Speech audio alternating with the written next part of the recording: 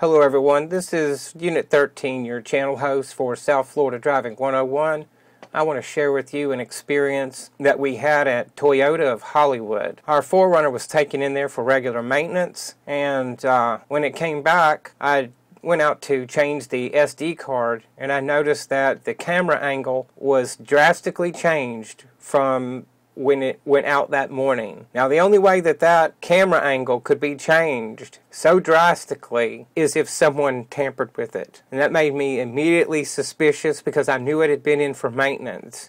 Now here's a little piece of footage of me actually manipulating that portion of the camera and you can see it's not easy to do. It takes quite a bit of force to move that. It's not going to move setting up in the dashboard in an upward direction on its own. The next footage we'll see will be the actual event filmed in real time.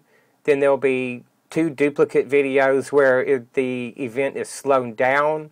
Then it'll switch back to the real time. Here it is real time. See the camera move up. Here's the slow motion. Look at that. That camera is being manipulated by someone. It didn't just slowly creep up there on its own like that, back to real time. This raises all kinds of questions.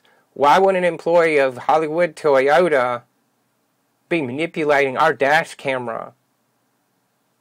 Nobody there has permission to touch that camera.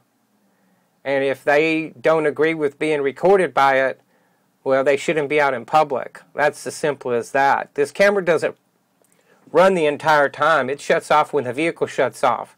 However, I'm sure this person, whoever manipulated that camera, did not know that.